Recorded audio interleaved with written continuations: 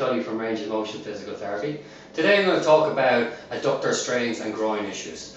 I'm going to go through a program of exercises for early, early stage injury through to kind of medium long term recovery plan along with some return to play exercises. The first exercise I'm going to talk about is uh, using a ball. And this exercise can also be used to help you gauge how your injury is progressing. So the ball is obviously placed between your legs and your knees and you'll be pushing in. So if you feel a strain in your adductor region, you can gauge that out of 10 and use that number as your guide throughout the progress of this injury. So you place the ball between your feet, you lie back with straight legs, and all you're going to do is contract your stomach muscles and just push in the ball, your two feet together against the ball and hold for five seconds. Again, you might experience some pain, but it's up to you to manage your pain so you're not pushing through the pain.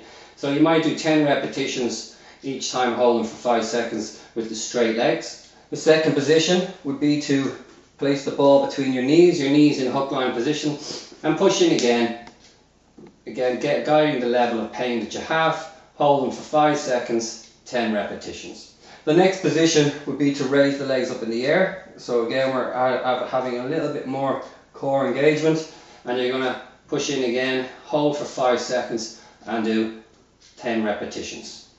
The fourth and final position would be to include a few tummy crunches. So again, you might just push it in with the ball to engage the core and the adductor muscles and we're going to just come forward, rotate and add a little bit of twist as we do our tummy crunch. And again, you may do 10 of these in this repetition. Okay, so that's the first one. Second one would be to um, just do some adductor exercises. So again, basing it on the fact that it's a right leg adductor strain, we're gonna, I'll do it at this angle here so you can get a good picture, is to just, obviously on your side, we're gonna look to recruit the adductor, the adductor muscle, and we're gonna bring the leg up, pause, and back down. Again, this is nice and simple, it's non-weight bearing, so it's a good exercise to do in the early stages of an adductor strain. So also you might do 10, 15, 20 repetitions depending on the level of pain you're experiencing. Okay, so another exercise that would be an early, an early exercise for an adductor strain would be just using some foot slides. So again, similar to the ball exercise. You're going to use, you're going to be guiding yourself as to the amount of pressure you put through the floor and the amount of pain you experience. So all you're looking to do is, again, working on the right side of the injury. You're just going to bring your foot out to the side and you're just going to gently slide the foot in as you adduct it. And then putting pressure down through the foot, through the floor, through your foot is obviously going to be graded based on the level of pain that you experience. So again, you can look to do 10 or 15 repetitions out the side and then bring them back through here 10 or 15 repetitions through here. Once your pain scales are down to maybe 1 out of 10 you can start to introduce a little bit more dynamic exercise. So one of those would be a kind of a sprinting technique. So we're going to stand on the left leg and we're just going to mimic us doing a sprint. So again for those of you football Gaelic there's a lot of sprinting involved and then you can swap over after a minute of doing it on your left leg you do it on your right leg. Okay. And then a similar exercise to that will be the skiing motion. Also quite good to help just stabilize through the leg, the core again. Think about your, your glutes, your core muscles. And we're just going to do like we're cross-country skiing.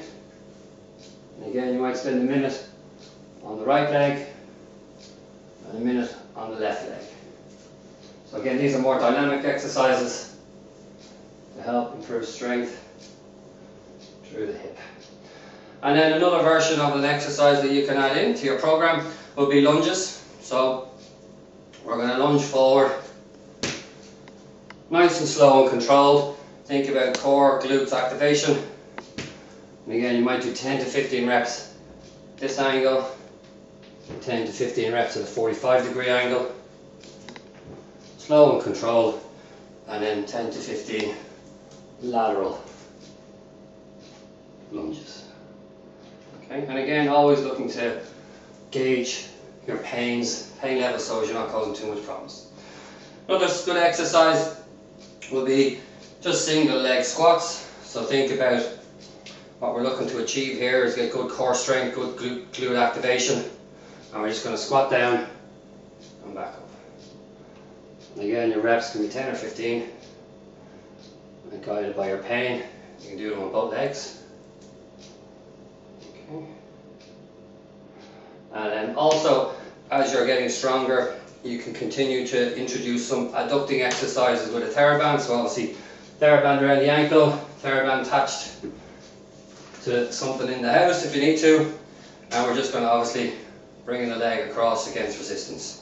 So again, another exercise to add into more advanced stage levels would be a single leg Romanian deadlift. So this can be done with weights or without weights. And again, what you're looking to do is activate your core, your glutes, and put your, put your obviously your balance through the right leg. We're going to go down, touch the floor, and come back up again.